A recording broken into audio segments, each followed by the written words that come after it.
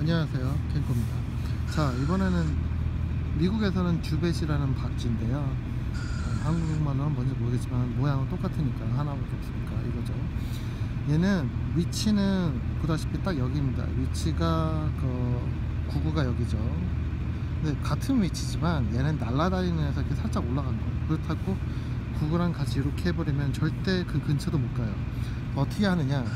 얘부터는 그러니까 아까 말하는 그 제가 아까 말한 베너나랑 보통 그 웨어 애들보다 더 멀리 있는 거라고 생각하시면 돼요. 그래서 모션만 먼저 보자면 이렇게 해서 이렇게까지 올립니다.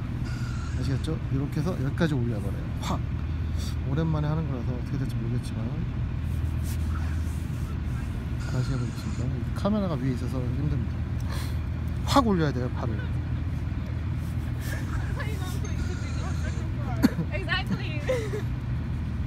My hand?